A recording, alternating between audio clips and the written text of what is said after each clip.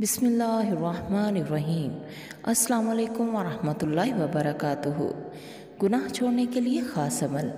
अगर कोई शख्स किसी भी किस्म के गुनाह का आदि हो और मजबूर हो कि बावजूद कोशिश के उससे गुनाह छूटता ना हो तो उसे चाहिए कि ये दुआ सौ बार सुबह और सौ बार शाम को पढ़ना मामूल बना ले। इन गुनाह से निजात पाएगा और नेकी की तरफ़ रगबत होगी। दुआ ये है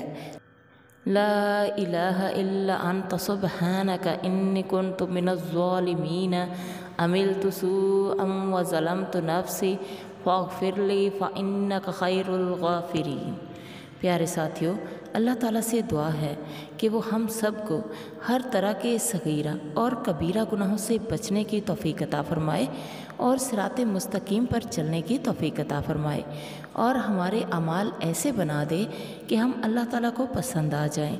अल्लाह ताला आप सबको अपने हिफ्स मान में रखे, आपकी तमाम नेक तमन्नाएँ पूरी हों। आमीन। अल्लाह हाफिज़।